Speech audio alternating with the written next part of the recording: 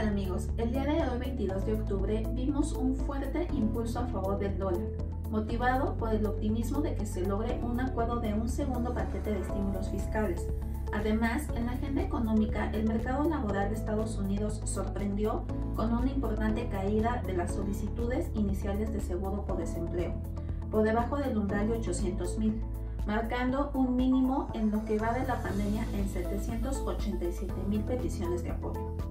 Ahora bien, el evento principal del día de hoy es el segundo y último debate presidencial en Estados Unidos, en el cual se espera que el presidente Trump mantenga una postura a la ofensiva con el objetivo de cerrar la brecha en las preferencias nacionales, y en especial en los estados péndulo en los que Biden sigue a la delantera.